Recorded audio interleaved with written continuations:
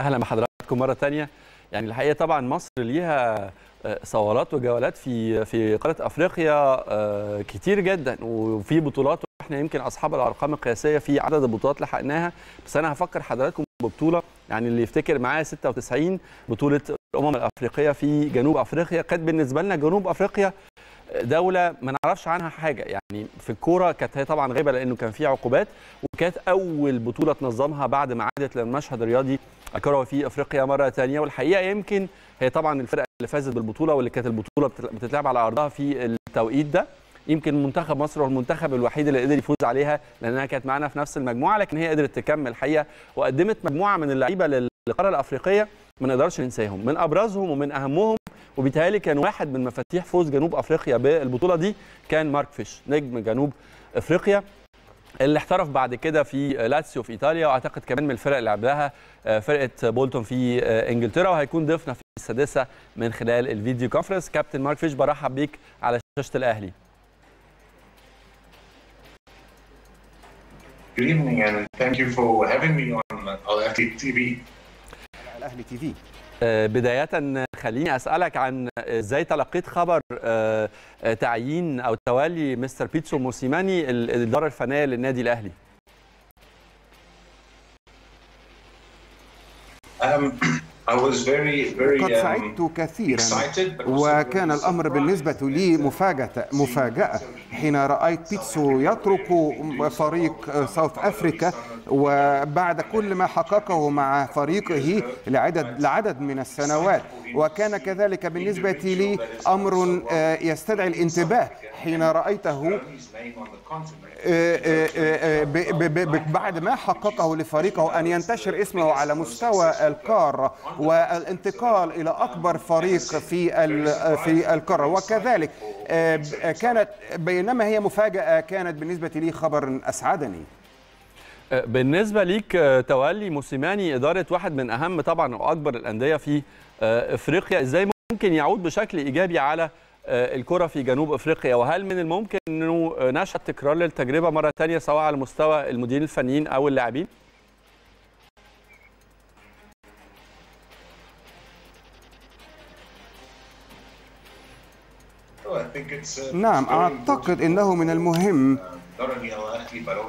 For South African team. آه، لكل الفرق آه، الأفريقية وليس فقط الجنوب أفريقية إن أن نشعر جميعا بالانتماء وأن يكون كذلك المنافسة بيننا And آه، يعني كما رأينا في السابق بين بيفانا بيفانا ومصر الذي انتقل آه، يعني انتقل بيتسو كابتن بيتسو من من من من بيفانا بيفانا إلى إلى إلى النادي الأهلي كذلك على الأرض الأفريقية. ونحن نرى أن انتقال اللاعبين أو الم- المدربين بين الأفر بين القارة الأفريقية هو شيء مناسب. لأننا اعتدنا ما أن نرى آه، مدربين أجانب يأتون إلى قارتنا ولكن أن يكون بيننا هذا الترابط وهذا التنافس وهذا الدعم أيضا آه، وأن ينتقل موسيماني لتدريب أقوى فريق في القارة هو the horizon for أراه كخطوة تقدم وأرى أنه لديه الكثير اللي يقدمه على الأرض المصرية وفي الكرة المصرية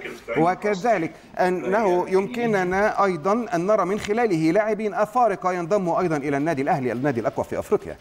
موسيماني كان صاحب تجربة ناجحة جدا مع فريق سان داونز سواء على مستوى الألقاب أو الأرقام أو على مستوى المدة اللي قضاها مع سان داونز آه، إيه الحاجات اللي آه، اللي تضمن آه، أو تخليك تتوقع تكرار نفس مستوى النجاح مع النادي الأهلي من وجهة نظرك طبعا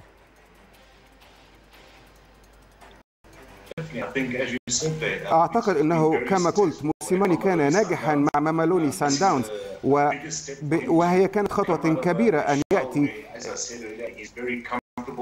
إلى إلى مصر. كان يلعب مع مع مع فريقه ببص يعني كان بينهم علاقة طويلة والآن وهو مدرب متفوق. يمكنه أن يتخطى حاجز الثقافة وأن ينطلق إلى العالمية وإلى فرق كبرى مثل الأهلي. وأنا أرى أن الخطوة التالية الطبيعية بعد سان داونز هو أن ينتقل إلى الأهلي فخبرته وقدرته والتزامه للعبة الكرة هي ما أدى إلى نجاحه سابقا وسوف يؤدي إلى نجاحه إن شاء الله مع فريقنا الأهلي.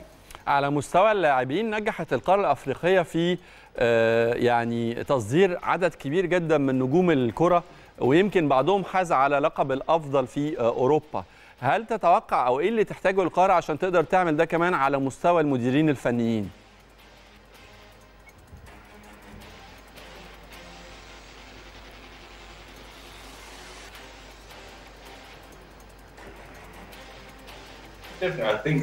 أعتقد أن ال- التنافس على مستوى القارة بين مدربين والمدربين الذين يأتون من الخارج وليسوا كلهم على ذات المستوى. فبالتالي المهم هنا أن ننظر بعين دقيقة يعني أن نتحرى الدقة في كيفية اختيار المدربين وأن نعلم أن بيتسو آه، كان لديه العديد من النجاحات وبالتالي كان أيضا لديه الفرصة للانتقال إلى أوروبا ولكن على مستوى القارة كان علينا أن نفهم أننا علينا أن نعضد بعضنا ونوادينا وأن نعدد خبراتنا حتى يمكننا الانتقال أيضا إلى الخارج. وهي وإن كان الانتقال إلى الخارج خطوة كبرى. وهنا في أفريقيا لدينا مدربين لديهم هذه القدرات ولكن علينا أن ننميهم وأن نعصر خبراتهم وأن نحصل منهم على النتائج. حتى يمكننا أن ننمي لعبتنا افريقيا. وبالتالي ليس فقط على مستوى النوادي ولكن على مستوى الأفراد والمدربين واللاعبين هل تابعت أداء النادي الأهلي على مستوى طبعا قبل نهائي بطولة أفريقيا تحت قيادة موسيماني؟ و... وإيه رأيك في مع طبعا مواجهته مع الوداد ذهابا وايابا وإيه رأيك في المستوى اللي قدمه الأهلي تحت قيادة موسيماني؟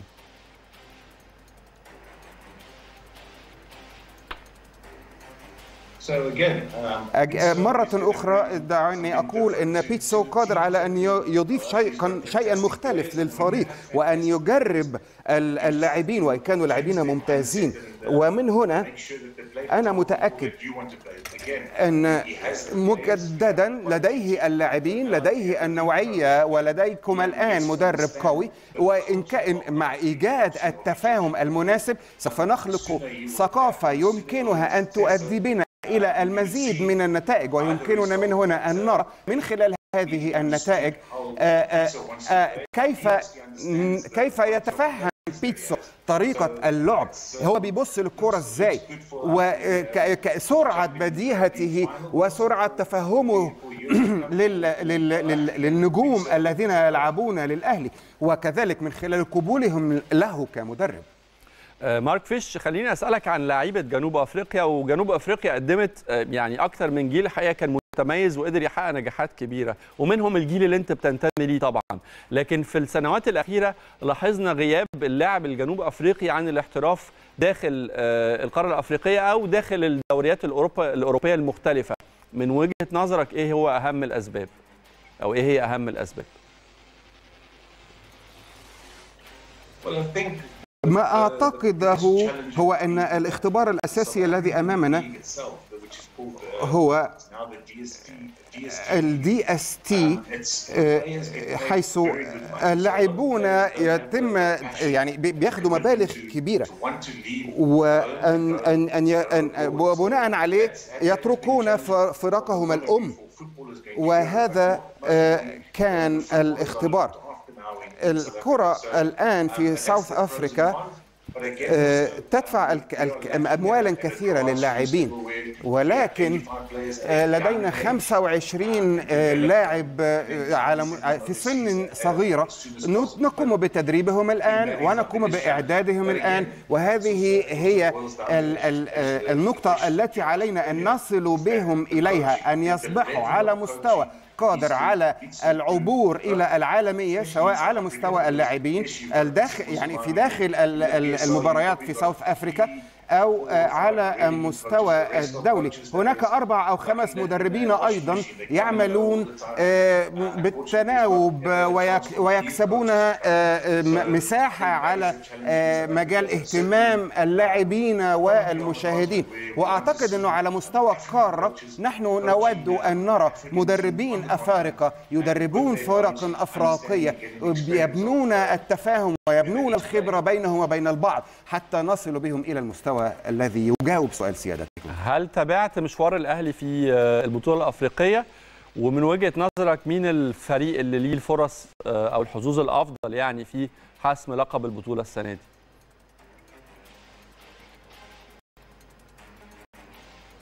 Speak slowly. Again, I think that أعتقد أن بنجاح uh, أي من الفرق؟ نحن كلنا لنا ال ال الوجهة نفسها نود نود الوصول إلى النجاح التفوق. كل مدرب له ذهنه وله عقليته. ولكن الكرة القدم هي ثقافة في حد ذاتها. وبالتالي بما رأيناه في ال semi-final أنا أرى أن بيتسو قدم آه، آه، آه، شيئا. ومن هنا أقول إن آه، المسابقة الثانية التي يرغب في الفوز بها آه، الآن هي لفريقكم. وبالتالي كل محبي الكرة آه، أقول لهم لديكم الآن فرصة ونتائج يمكنكم أن تحكموا آه، عليها في هذه الفترة الفترة التي نعيشها. مارك فيش نجم جنوب أفريقيا بشكرك شكرا جزيلا على وجودك معانا على شاشة الأهلي وكل التوفيق طبعا لبيتسو موسيماني في مهمته آه، مع فريق النادي الأهلي وإن شاء الله يكون آه، لقب البطولة من حظنا ومن نصيبنا.